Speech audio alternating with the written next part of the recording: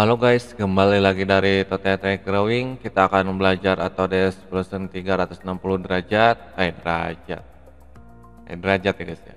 Oke, kita mulai dari gambar eh, tiga dimensi untuk sederhana bagian pemula ya guys. Di sini sudah ada gambar contohnya, tidak asing ya guys. Eh, sebelum eh, yang belum punya gambar seperti ini, boleh ke Facebook ya. Saya udah kasih di Facebook, di grup Facebook, di nama Facebooknya teknik drawing ya guys ya. Ini foto-foto latihannya udah di situ semua. Ya tinggal cari aja di situ. Oke kita langsung aja mulai. Tinggal kita pilih bagian tampilannya. Kita pilih yang bagian exit ya guys ya. Kalau udah exit ini langsung kita oke tampilan menjadi seperti ini. Tinggal kita langsung aja kita bikin kotak ya.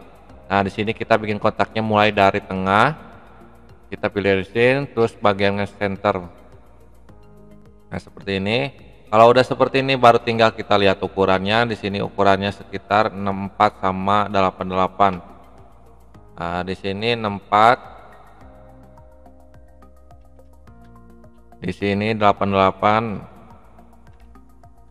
Nah, kalau udah seperti ini tinggal langsung finish saja. Tinggal kita taikin ke atas gunakan extrude. Tinggal kita lihat ukurannya, uh, ukuran ke atasnya sekitar ukuran berapa? 75 ya guys ya mana ini 75 bentar. Nah sebelumnya kalau udah seperti ini langsung lanjut lagi. Eh, kita bikin soakan seperti ini yang bagian ininya. Soalnya kenapa? Posisinya ini kan yang tempat itu di sini ya guys ya. Jadi kita bikinnya di sini. Nah kita langsung aja klik di sini seperti ngeblok baru ke tampilan lagi SketchUp Nah, kalau udah seperti ini baru tinggal kita bikin lagi mulai dari segi empatnya, mulai dari uh, sudut. Seperti ini. Baru kita ukur dari jarak ke sini sekitar 15. Enter. Nah, kalau udah seperti ini tinggal kita naikinnya ke atas berapa? Sekitar 38. Enter. Nah, kalau udah seperti ini tinggal kita finish lagi, baru tinggal klik lagi. Nah, di sini kita gunakan kan kalau di sini kan maju ya. Nah, tinggal kita ke belakang. Nah, cara ke belakang gimana? Di sini kita lihat dulu 25. Jadi gunakan di sini minus. Kita blok dulu ini. Kita tulis dulu minusnya, baru langsung tadi itu 25. Nah, baru seperti ini. Kalau udah seperti ini tinggal kita oke okay aja. Nah, hasilnya kita gunakan robit biar kelihatan rapi dikit. Tampaknya. Kalau oke seperti ini tinggal kita lanjut lagi. Kita bagian yang bagian atas dulu lebar enak yang ininya. Tinggal pilih di sini baru tinggal kita tampilan SketchUp lagi. Kita gunakan uh, segi empat yang dari mulai dari sudut. Seperti ini. Kita bikin dua. Nah kalau udah seperti ini kita lihat ukuran-ukuran dari sini itu sekitar 15 lagi sama Terus dari jarak ke sininya berapa? Sekitar dari jarak ke sininya sekitar 35-an.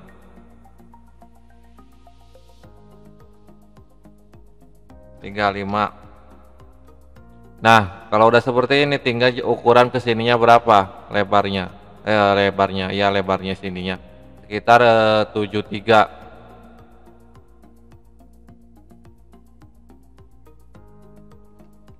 Enter. Nah, kalau udah seperti ini tinggal yang bagian apalagi dari jarak ke sininya itu sekitar 20 apa seberapa ini?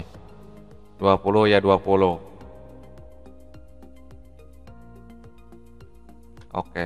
Nah, kalau yang ini nggak usah diukur ya soalnya udah ada 73-nya. Jadi kita tinggal terima aja.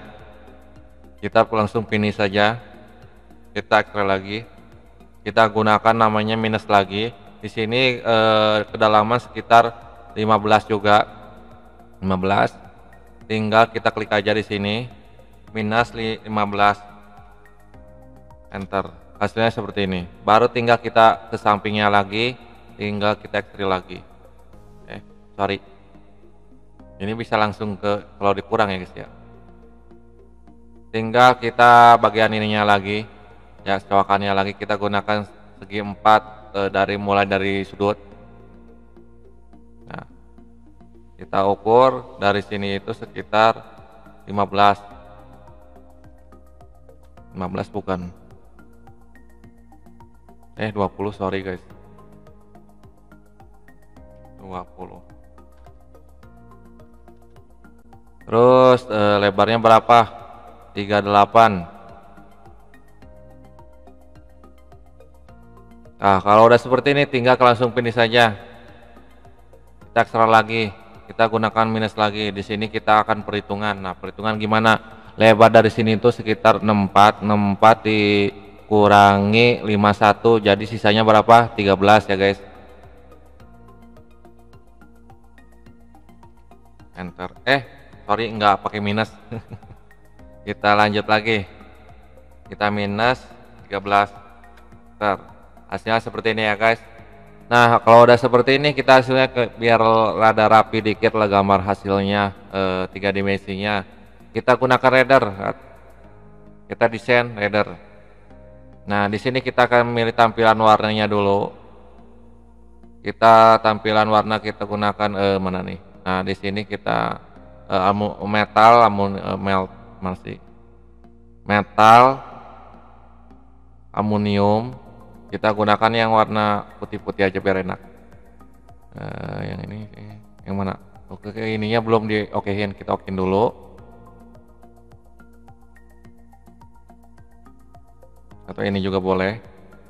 Nah di sini kita akan uh, coba ininya diklik settingnya setting leadernya di sini kita pluginin di sininya rada putih dikit biar ada hasilnya biar jernih Nah, di sini kita gunakan yang ini.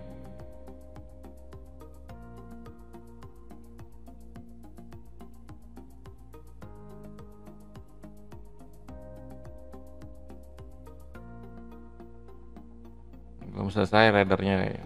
belum selesai. Masih proses. Segini doang udah lama ya guys ya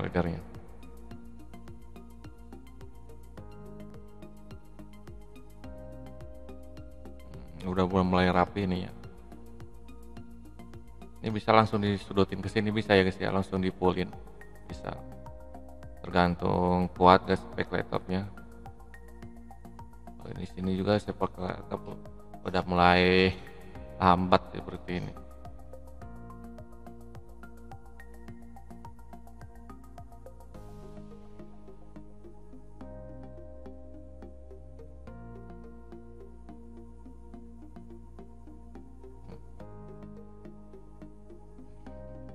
Nah itu dia ya guys ya cara latihan buat eh, gambar dua eh, tiga dimensi di Autodesk Fusion 360 untuk teknik mesin untuk eh, pelajaran apa aja lah ibaratnya. Eh, semoga memperhatikan video tutorialnya, semoga memperhatikan ilmunya. Saya juga masih belajar. Kalau ada kesalahan silahkan komentar atau apa-apa silahkan untuk berbagi ilmu juga mau pemasukannya dari kalian semuanya untuk bagian senior-senior dari teknik drawing atau teknik e, mesin dan sipilat dan lain-lainnya. Sampai jumpa kembali guys.